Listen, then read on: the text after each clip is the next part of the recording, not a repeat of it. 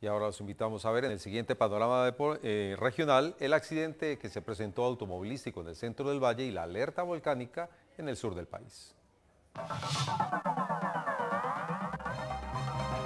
Una persona muerta y 15 más heridas dejó un accidente de tránsito ocurrido entre los municipios del Cerrito y Guacarí.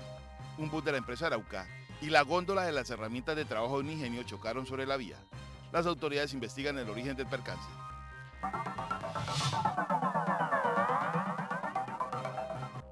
La Unidad Nacional para la Gestión del Riesgo de Desastres gestiona acciones con el fin de preparar a la comunidad en caso de que haya una erupción. La iniciativa se hace ante una posible emergencia de los volcanes de Chiles y Río Negro en Nariño.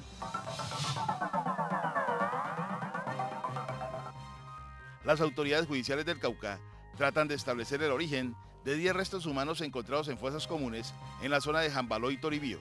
En este lugar, Javier Delgado asesinó a por lo menos 150 disidentes de la guerrilla hace 20 años. Cuatro menores de edad murieron calcinados al incendiarse su humilde vivienda construida con tablas de madera. Los niños fallecieron al parecer a causa de una veladora que habían dejado encendidos sus padres.